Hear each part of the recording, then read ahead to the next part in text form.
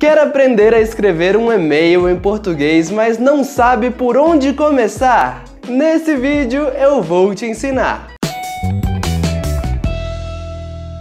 E não esqueça de ativar as legendas para você entender todas as explicações. Bom, a primeira coisa que precisamos no nosso e-mail é uma saudação, ou seja, uma forma de dizer oi para outra pessoa. Mas essa saudação não pode ser feita de qualquer forma e vai depender muito do nível de intimidade que você tem com a outra pessoa. E vamos começar com a saudação mais informal que você pode fazer, que é simplesmente colocar o nome da pessoa e uma vírgula. Essa é uma boa saudação, principalmente se você está trocando uma série de e-mails com a mesma pessoa e você não precisa de uma saudação longa para todas as vezes. Uma outra opção um pouquinho mais formal que você pode utilizar é bom dia, boa tarde, boa noite, vírgula e o nome da pessoa.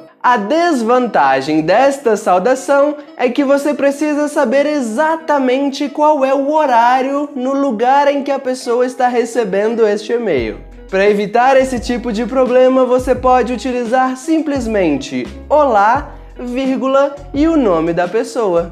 Uma forma um pouquinho mais formal que pode ser utilizada, por exemplo, com clientes da sua empresa ou até mesmo com representantes do governo é utilizar a forma caro e o nome da pessoa, se você está falando com um homem, ou cara e o nome da pessoa se você está falando com uma mulher. Se você não sabe o gênero da pessoa ou se você quer fazer um e-mail padrão que vai ser enviado para homens e mulheres, você pode utilizar caro entre parênteses a letra A. E por último, a forma mais formal possível para se referir a uma pessoa comum no seu e-mail é utilizando a palavra prezado para falar com homens ou prezada para falar com mulheres. E aí é muito comum você utilizar as palavras senhor e senhora para adicionar uma camada a mais de respeito.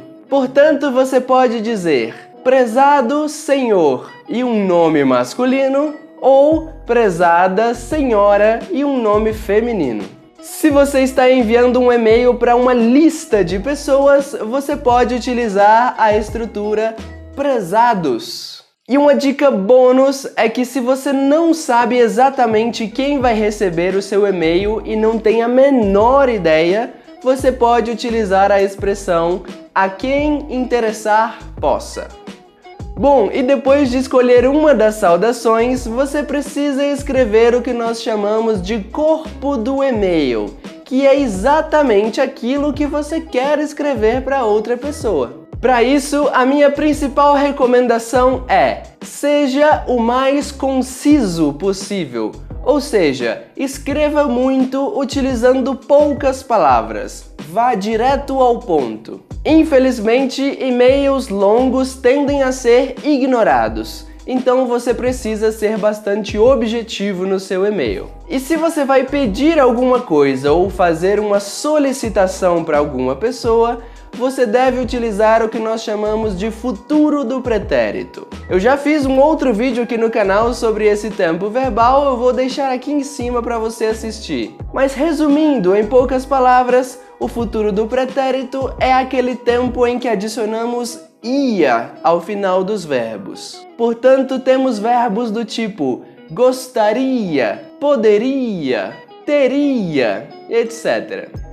E aí você pode utilizar frases do tipo: Eu gostaria de saber, você poderia me ajudar? Você teria interesse em? Dessa forma você soa mais educado e aumenta as chances do seu e-mail ser bem recebido pela outra pessoa. E por último, para encerrar o seu e-mail, você precisa de uma despedida que também varia de acordo com o nível de intimidade que você tem com a outra pessoa. A forma mais comum de se fazer isso é com a palavra atenciosamente, uma vírgula e o seu nome na linha de baixo. Um pouquinho mais formal pode ser utilizando a palavra cordialmente. Agora, se você pediu alguma coisa para a pessoa no seu e-mail, você tem três boas opções para encerrar o seu e-mail. Você pode dizer: agradeço a atenção, desde já, muito obrigado, ou simplesmente grato, se você é um homem, ou grata, se você é uma mulher. E como os brasileiros são muito informais, não é difícil você encontrar um e-mail que termina simplesmente com a palavra abraço. E por hoje é só, espero que esse vídeo tenha sido útil. Não esquece de clicar no like se você gostou e se inscreve no canal para você não perder os próximos vídeos. Aqui na tela eu vou deixar mais dois vídeos para você continuar aprendendo português.